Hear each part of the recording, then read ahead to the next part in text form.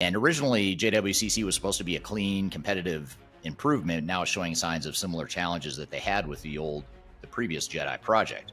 There's poor vendor coordination, complex procurement requirements, unclear ownership of outcomes, and this multi-vendor approach that they're taking. Which, if you don't follow it, they've they've got multiple vendors in there uh, working on the project or supporting the project. You've got AWS, Microsoft, Google, and Oracle, among others. And that whole multi vendor approach is proving to be a lot more complicated than expected. And on the one hand, they are going through this process with multiple vendors to avoid vendor lock in and give themselves more flexibility, which on the surface makes a lot of sense.